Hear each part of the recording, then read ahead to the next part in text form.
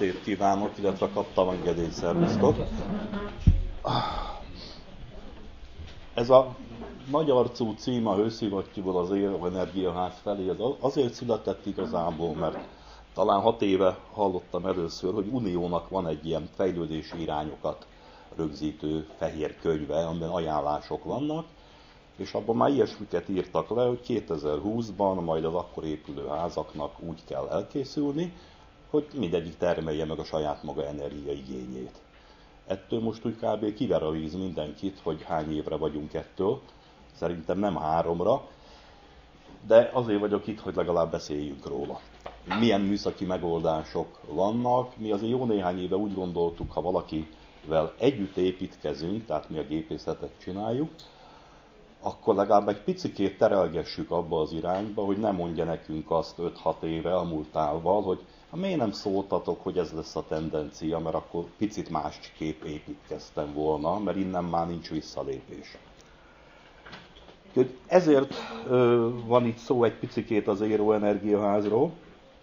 Egyébként ez olyan, mint a Forma 1, hogy minden műszaki megoldás, ami egy zéro energiaháznak jó, az bárkinek a házába egész biztos, hogy jót tesz.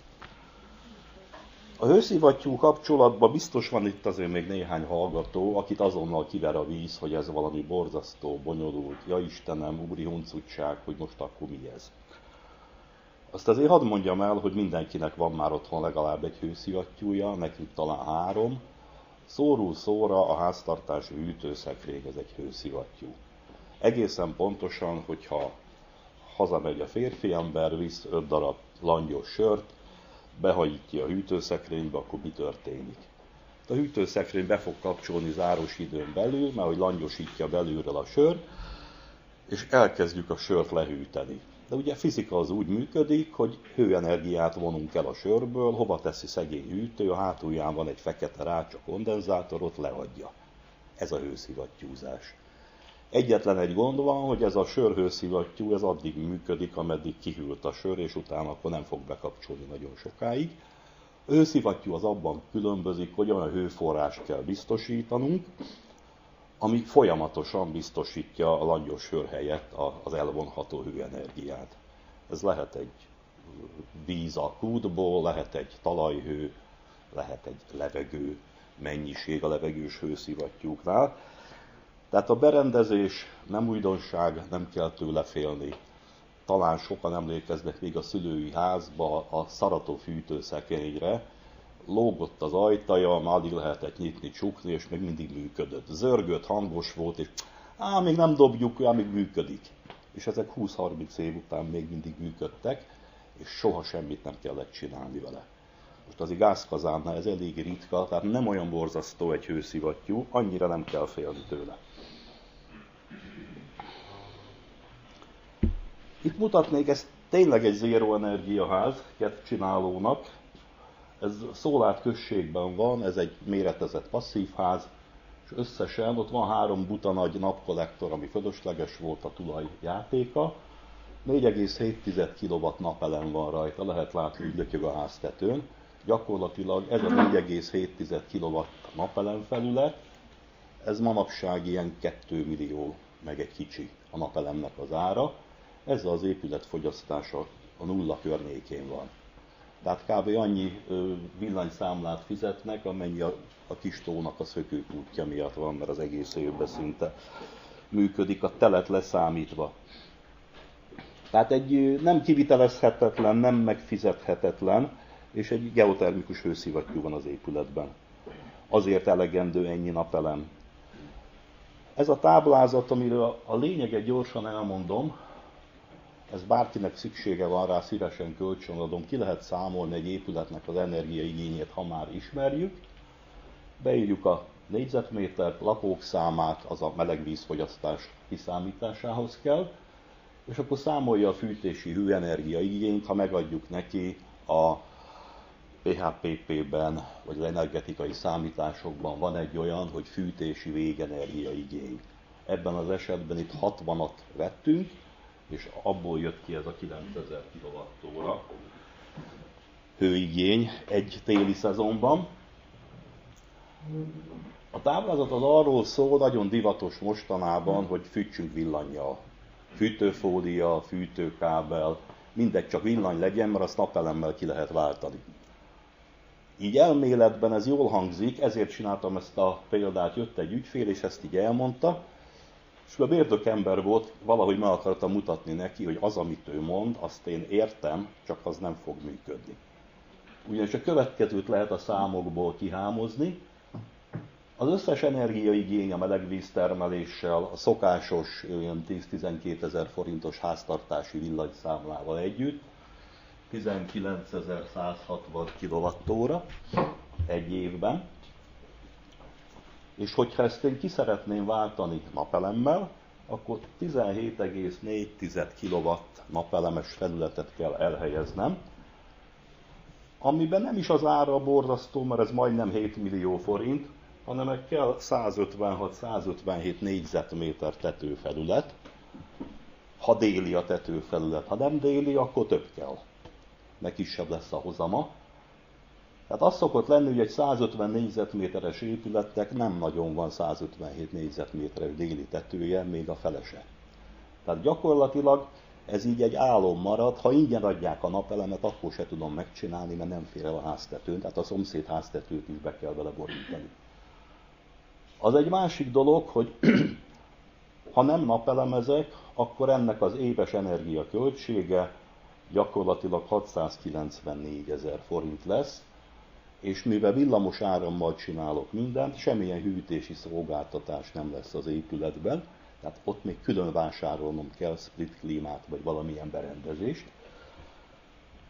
Ha nem infrafűtéssel vagy villanyjal akarom, hanem őszivattyúval, itt megvan mellette a másik az összehasonlítás érdekében, akkor az úgy néz ki, egyrészt a hőszivattyúra, ha nem napelemezek, akkor kapok egy kedvezményes áramtarifát, tehát éjszakai áramnak az árán van a, hő, a H tarifa, és jelentősen olcsóbb lesz. Ha meg napelemezek, akkor ennek az egész fogyasztásnak a kiváltása 63,4 négyzetméteren elfér, 7 kW napelemről van szó, annak az ára 2,8 millió forint. A két napelem mező különbsége az 4 millió 149 ezer forint. Nem tudom ki mit tippel, hogy és akkor leplekebb egy hőszivattyú és hűtési szolgáltatás is van. Ha geós, akkor passzív hűtés, ha levegős, akkor meg egy aktív kompresszoros hűtés van az épületben nem tudom mit tippeltek, a 4,1 milliós különbségből kijön egy hőszivattyús rendszer.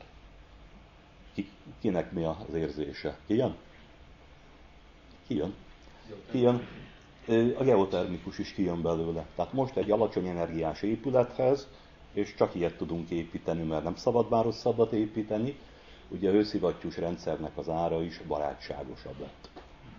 A másik véglet az, hogyha egy nagyon jó épületet építünk, tehát passzív ház környékét, akkor kezdi nem megérni a hőszivattyús rendszer, mert kb. ugyanannyi hozzá egy hőszivattyús rendszer kiépítés, mint egy háromszor, négyszer nagyobb fogyasztású épülethez.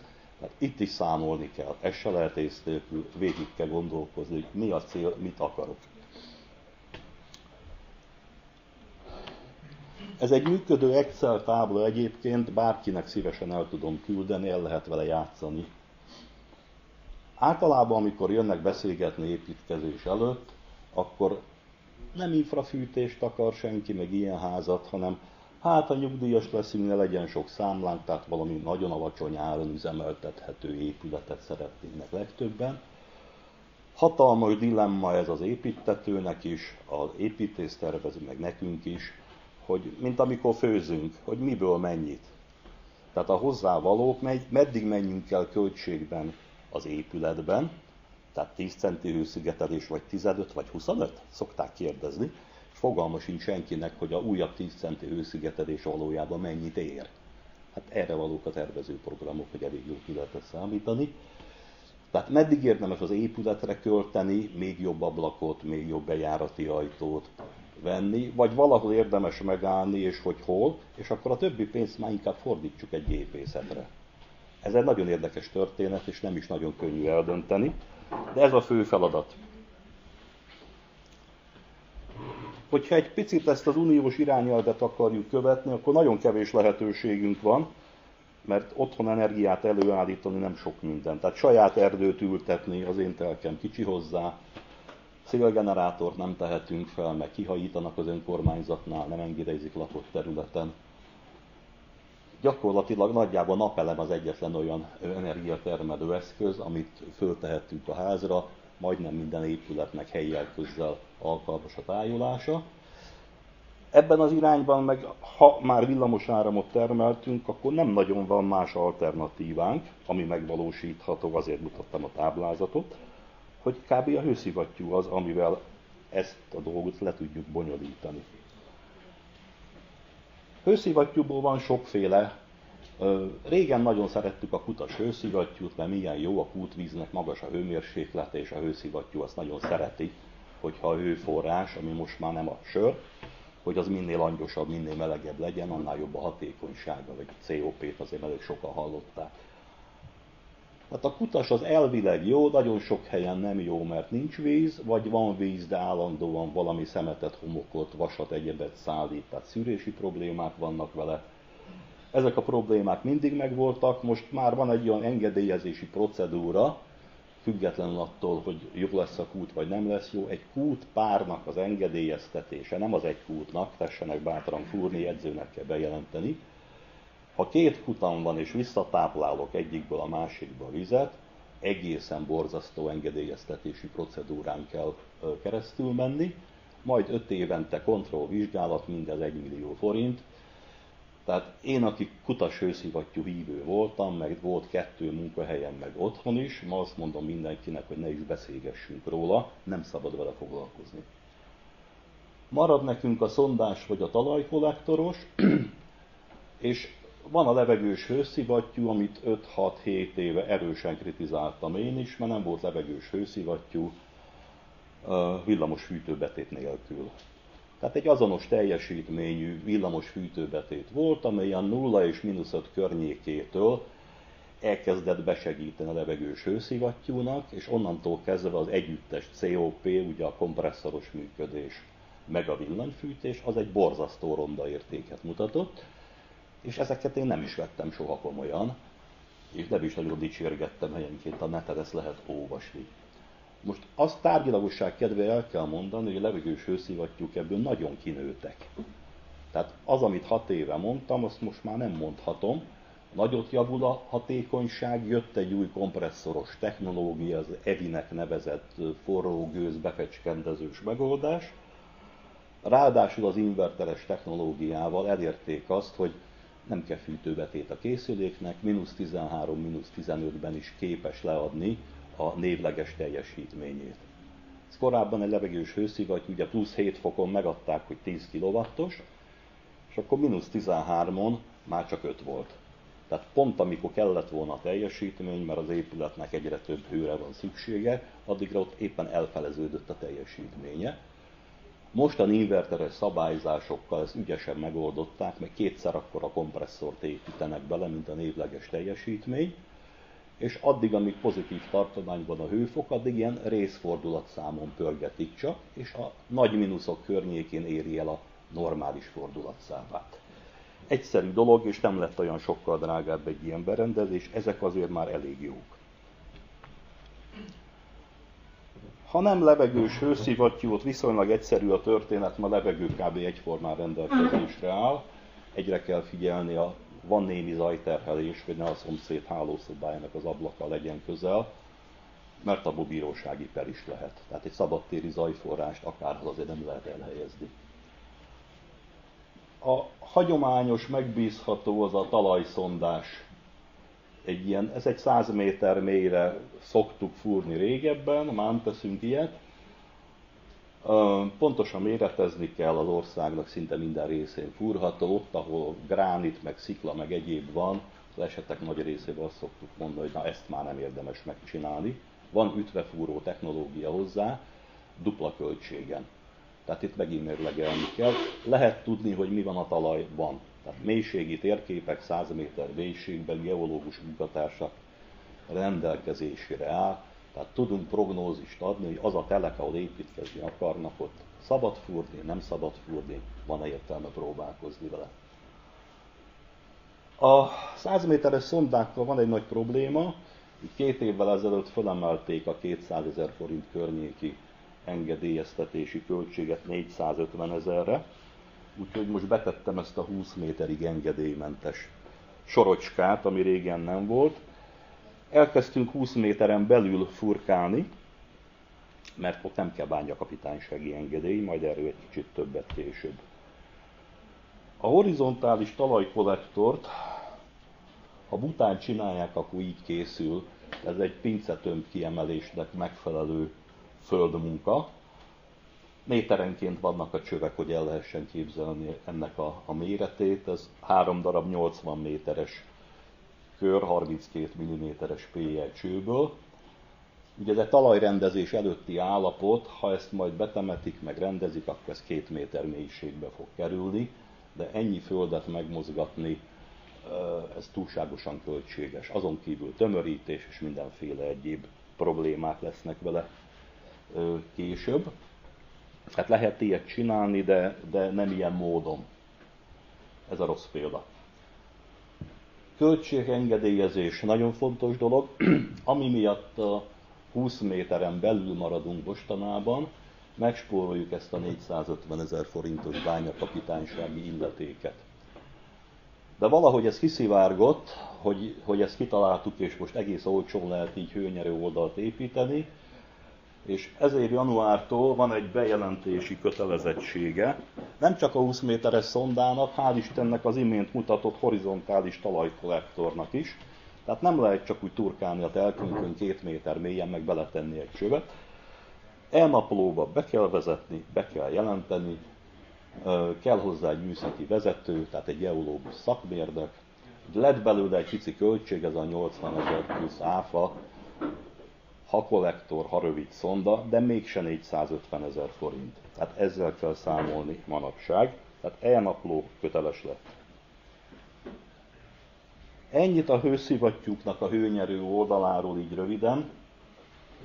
Megkerülhetetlen dolog, rengeteg rosszul működő hőszivattyús rendszer van Magyarországon, volt szerencsém mérni néhányat, ahol a kazán helyére betettek egy hőszivattyút, és boldogan fűtögetnek radiátoron keresztül, akkor szezon végén kiderült, hogy jé, hát több a számlánk, mint a földgáz számlánk volt idáig, mi értelme volt ennek az egésznek bírósági perek tömege működik, hál' Istennek nem alanya vagyok egyiknek se. Hőszivattyút működtetni csak alacsony hőmérsékletű hőleadókon. Padló, fal, födém, esetleg fenkól, amit klímakonvektorként ismerünk munkahelyeken, ezek a ventilátoros hőleadók. Azért mondom esetleg, mert családi házban ezt nem szoktuk tervezni, mert picike hangja van. Ami egy irodába elmegy napközben a zsongásba, az éjszaka egy hálószobában már borzasztó hangosnak tűnik. A hagyományos padlófűtés az egy teljesen jó dolog, az a baj, hogy fűteni jó, nincs vele semmi gond. Ha hűteni akarunk vele, lehet, csak nem ideális.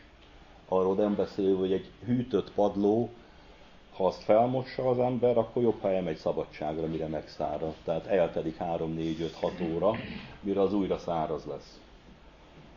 A padlófűtésnél van még egy érdekes dolog, az előző előadáson beszéltem erről, hogy egy alacsony energiás épületnél hatalmas csalódás szokta érni a lakókat, hogyha kőpadló van, hogy hiába van fűtve, mégis hideg. Tehát annyira leszigeteljük már az épületet, hogy az összes határoló felület viszonylag magas hőmérsékletű, és ilyen 23-24 fokos padlóval ki van fűtve. Tehát a szoba termosztát mutatja a 22-t, amit kértünk, és rálépünk a padlóra, és azt hiszi az ember, hogy nincs fűtve, mert hideg érzetet kelt. Tehát aki meleg hatású padlót szeretne egy mostani épületbe, ez nem hőszivattyú kérdés, a földgázkazánnál ugyanez fog történni, az jobb, hogyha valamilyen meleg burkolatot, hagyományos fa, tehát svéd padló, a laminált padló nem alkalmas igazából, mert, mert műanyag, hideg hatású. Parafát is mondhatom, de az drága, vékonyabb szőnyeg, tehát valamilyen meleg hatással lehet elérni az, hogy a hőérzet szempontjából rendben legyen. Faltemperálás, falfűtés, hűtés 10-20 évvel ezelőtt nagy divat volt, majd úgy elmúlt. Csak a baj van vele, tehát egyrészt, ha egy bútor teszek elém, át kell rendezni egy picit a házat, akkor, akkor kiiktattam a működésből. Soha egy nyugodt uh, tipli fúrás elhelyezés nem lesz többet az él, mert nem tudom, hogy hol van a cső. Tehát vannak rá eljárások, de, de ez egy probléma, amit kezelni kell. Aztán meg kevés a fal. Tehát szép nagy ablakokat építünk be, a másik falakon szekrények vannak, és akkor hova tegyük azt a falfűtést, kb. nem maradt neki hely, amennyi szükség lenne. Nagyon szeretjük a födémtemperálást, hogyha monolit födém van, vagy mutatok képet, akkor egészen barátságos, olcsó áron kivitelezhető, tehát padlófűtés ár. Fűtés szempontjából is teljesen jó, hűteni meg tökéletes nagyon soha vissza nem térő lehetőség, tehát építési fázisban, mikor egy új házat építünk, akkor be lehet tenni a szerkezetbe a hőleadókat. Ha elkészít a ház vagy felújítás van, ezek a lehetőségek általában nem állnak rendelkezésre, a pótlólagos beépítések, kiépítések meg többszörös pénzbe kerülnek. Tehát érdemes végig gondolni, amikor építkezik valaki, hogy mi az a hőleadó, ami mondjuk 50 év múlva is még meg fog felelni. Mondjuk egy műanyag padlófűtés cső az 50 év múlva is padlófűtés cső lesz, de valószínűleg 100 év múlva is. És nyugodtan el lehet felejteni a radiátorokat egy életre.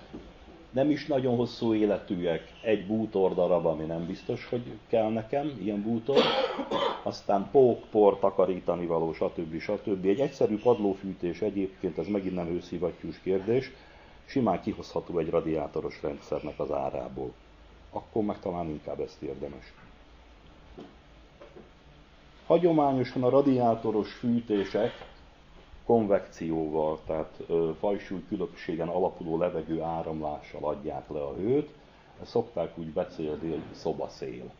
Tehát felszáll a meleg a radiátorról, mennyezet alatt megfordul, másik felé lejön, és ez a levegő mozgás, ez szállítja a hőt, itt a mennyezet alatt mindig melegebb lesz magától értetődően, és akkor még mondják, hogy a padlófűtés lebegteti vagy szállítja a port. Hát a radiátor csak igazán.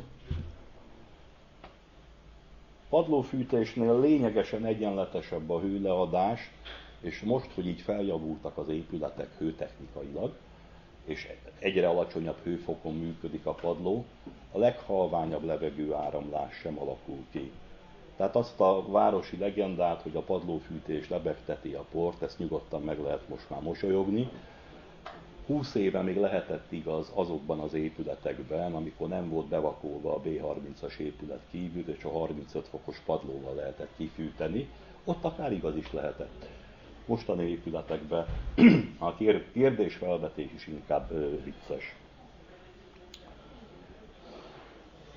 Pár éve csináltunk méréseket, hogy hogy alakul a függőleges hőmérsékleti elosztás egy helyiségben. Ugye ott 270-nél van a menyezet, itt a nullánál meg van a padló, és akkor 30 centinként volt egy hőfokmérés, és lehet látni, hogy a padló itt föl volt fűtve ilyen 26-ig, Ugye ez egy régebbi épület felújítás után, tehát nem egy mostani korszerű épület, azért ennyi, ennyire meleg a padló, és olyan 30 centitől fölfelé tényleg olyan, mint egy volanazóval lenne meghúzva. És érdekes módon a legfelső pont, a nem fűtött padláshoz kapcsolódó mennyezet, az ugyanolyan meleg, mint alatta a levegő, pedig hidegebbnek illene lennie, mert hogy hűlő felület. Ebből lehet látni, hogy ez egy sugárzó fűtés. Tehát a padló süti a mennyezetet idézőjelben, az infravörös sugarak emelnek a mennyezet hőfokán annyit, hogy nem látszik rajta, hogy ő egy hővesztő felület. Mutatok egy sokkal csúnyábbnak ható, tűnő diagramot, ez a mennyezet fűtésnek, úgyhogy a padló az nincsen fűtve, mennyezet van fölfűtve, 26-27 fok körül van a hőmérséklet, és egy ránézésre azt mondom, hogy fú, ez mennyivel rosszabb, hogy ilyen ronda görbe. Az érdekesség az itt is látszik, hogy most meg a mennyezet süti a padlót, és a padló melegebb, mint 30 centivel fölötte a levegő.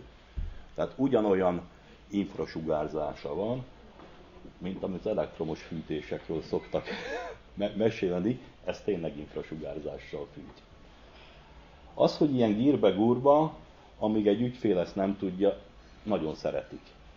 Tehát van olyan ügyfél, hogy fölborította az épületnek a hőegyensúlyát, mert kinyitotta a mennyezeti hőleadót, ami egyébként hűtés céljára lett beépítve, és a padlót is használtam, meg a mennyezetet is, és er-, erre aztán a fürdőszobában nem volt kellemes a hőmérséklet, hogy a szobatermosztát túl hamar kikapcsolt. És amikor hosszas fejtörés után mondtuk, hogy megtaláltuk a hibát, el kell zárni a mennyezetet, és akkor minden jó lesz, mondtuk, hogy szó se lehet róla, imádjuk. Tehát lehet, hogy görbe a vonal, de az, hogy fölülről egy ilyen nagyon halványan, alig észrevehetően érkező hőenergia jön lefelé, az egy rendkívül kellemes érzés. No, ez egy épületnek a, az épület földszintének a monolit beton födémje van bezsarúzva. Ez egy diósdon épült passzívház. Legalul nem lehet látni ilyen barna villanyszerelő csövek szaladgálnak az acélháló alatt. Az acélháló fölött vannak a, a hőleadó hűtő-fűtőcsövek, és itt fölül pedig ezek a befúvó ágak, ezek meg az elszívó ágak, ezek már a szellőztető rendszernek a csövei. Mm. Ez mind el fog tűnni a betonba, ez, amit soha az életbe többet nem tudunk megcsinálni, építkezési fázisban a legköltség hatékonyabb. A szellőztető csövek irányt a legrövidebb, legrövidebb úton mennek a, a befúvó szelepekhez, 1000 méterre, tehát az is egy szempont, hogy nem kell az épületnek a falai mellett körbe-körbe vinni. Kicsit hőszivattyú kérdés is, a gépészeti helyiség mérete, mert hogy el is kéne férni a berendezéseknek, az egy hőszivattyús rendszer az általában nagyobb teret igényel, mint egy fali kazán, mint egy földgázkazán. Szoktuk mondani, hogy olyan 6-8 négyzetméter. Van, mikor megkérdezik építész kollega, hogy figyelj, elfértek ott a lépcső alatt a hőszivattyús rendszer? Jézus Mária! Nem férünk el. Gyakorlatilag azért, hogy ne egy ilyen nagyon szép gépház legyen ezzel a kusza rendetlenséggel, amit az alkotója sem tudja egy hét múlva, hogy melyik alkatrész mit csinál rajta. Ott a jobb oldalon látszik, ez egy passzív háznak a gépészhelyisége, amit a háziasszonynal közösen használunk, tehát ott van mosógép, meg, meg vasalódeszka, meg mindenféle. Meg itt egy vízlágyító, itt van egy hőszivattyú, itt van egy hidraulikus egység, ez az energiakulcs, itt van a szellőztető rendszernek a két osztódoboza, elég méretes dolgok, itt van a szellőztető, berendezés maga, és itt mögötte nem látszik még egy levegő előtemperáló kalorifer. Tehát ezek nem férnek el a lépcső alatt. A szellőztető rendszer a nagy cső átmérők miatt az különösen helyigényes. Ez lenne a reklámhely, az a doboz, amit a falon láttatok, az egy energiakulcs rendszer, ami a geós hőszivattyúk, meg a szellőztető rendszereknek, meg az egész épületnek egyfajta műszaki szimbiózisba hozza a lehető legkevesebb költséggel, a lehető leghatékonyabb működés, nagyon erős passzív hűtés tud a rendszer. Akit, akit érdekel, a weboldalon is meg lehet nézni bővebben. Ugye az egyik lényege, hogy a gépházak mindenütt egyformák lesznek, ahol ez épül ki. Tehát tud lenni egy gépház, ez az ötödik magyar passzívház Kiskúfélegyházán a Börcsök Andrásé. Meg lehet nézni, hogy néhány szépen szigetelt cső, meg a mosógép, így gyakorlatilag nemesen egyszerű rend uralkodik a, a, a gépházban.